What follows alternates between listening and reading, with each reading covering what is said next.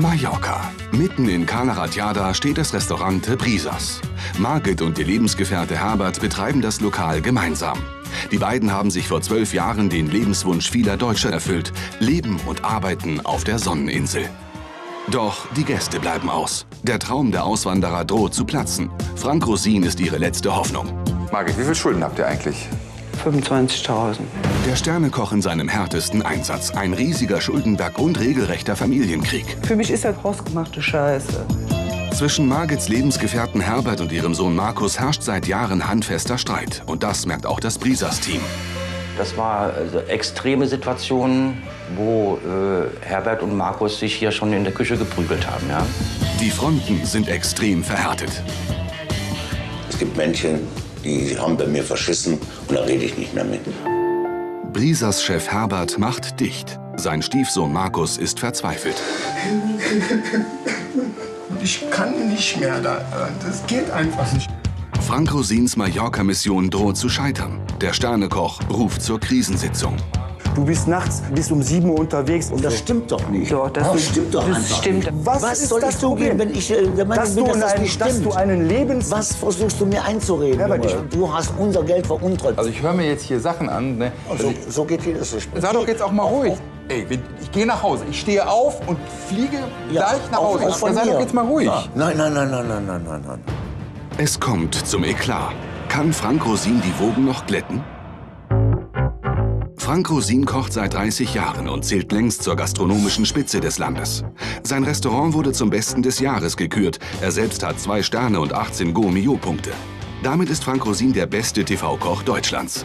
Um das Brisas auf Mallorca zu retten, braucht der Spitzenkoch neben all seinem Wissen auch seine gesamte Menschenkenntnis.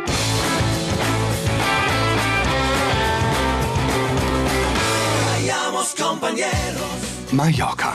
Für die Deutschen ihr 17. Bundesland. Auf der sonnigen Baleareninsel leben mittlerweile mehr als 20.000 Bundesbürger. Im Nordosten der Sonneninsel liegt der Ferienort Cala Ratjada.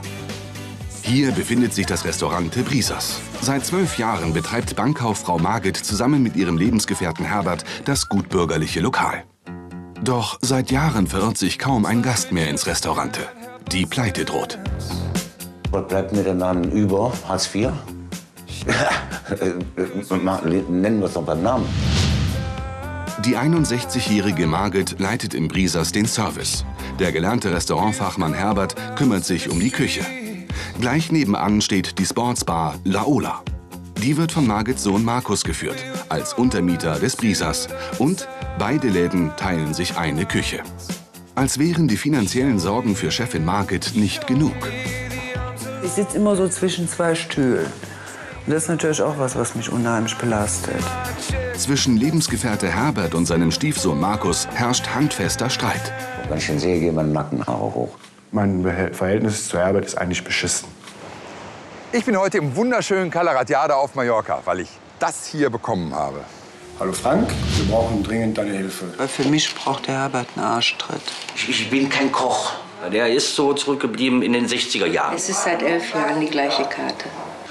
Die meisten, die reden mir in, Sachen, äh, in, in dieser Sache rein, wo sie am wenigsten Ahnung von haben. Es ist ein Tod auf Raten und ich bin noch nicht bereit zu sterben. Mein Gott, die haben ja richtigen Stress. Das hört sich wahrlich nach Problemen und Ärger an. Naja, mache ich mich mal auf den Weg ins Restaurant Brisas. Um helfen zu können, muss der Sternekoch mehr erfahren. Von Markus, dem Sohn der Brieser Chefin, will er sich die Gründe für die Misere erklären lassen. Hallo, bist du Markus? Ja, ich bin Markus. Hallo Frank. Hi, grüß Schön, dich. dass du da bist. So, wie geht's dir? Naja, nicht so toll. Nicht so toll. Nee. Was ist das Problem? Erzähl mal. Naja, wir haben hier ein Restaurant und eine Bar. Und das Restaurant, das gehört meinen Eltern, also meiner Mutter und ihren Lebensgefährten. Okay. Du hast eine eigene Bar. Ich habe eine eigene Bar. und die Geschäfte Sind von deiner. Mutter und äh, dem Lebensgefährten deiner Mutter und dir sind nebeneinander. Ja. Und ja, es ist sehr dramatisch im Moment. Das heißt, wir haben im Prinzip mit, durch unseren Vermieter eigentlich die Auflage bekommen, wenn wir nicht dieses Jahr am Ende der Saison eigentlich alles soweit finanziell abgeklärt haben, dass wir wieder pari sind, kann es also sein, dass wir den Laden nicht nur des Brisas, sondern auch meinen, dann halt verlieren werden. Wirklich? Ja. So schlimm? Ja. I ist natürlich eine Wucht.